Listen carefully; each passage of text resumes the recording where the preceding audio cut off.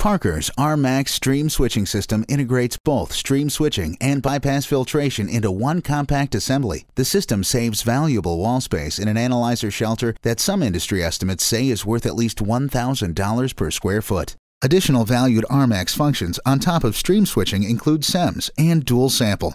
The system is versatile in that it can control both gases and liquids in analytical systems ranging from vacuum to 500 psig while requiring only 60 psig actuating air pressure. It was engineered with a focus on improved product reliability and reduced cost of ownership.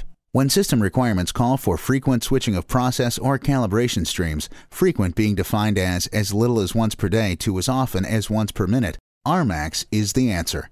Specific features of RMAX include a state-of-the-art surface mount technology that reduces leak paths, internal volume, and dead volume. Knowing the measurement is only as good as the stream. The two three-way double block and bleed valves ensure a sample cannot possibly be contaminated. A physical indication that the valve is moved is a great feature when troubleshooting and differentiates RMAX in the industry. Surface mounting also leads to unique advantages with ease of maintenance as system components can be easily removed and replaced without breaking process connections. Valves can easily be served in the field with just pliers, and Allen wrench, and a spare part. Additionally, an internal self-purging outlet header eliminates the need for an additional outlet loop.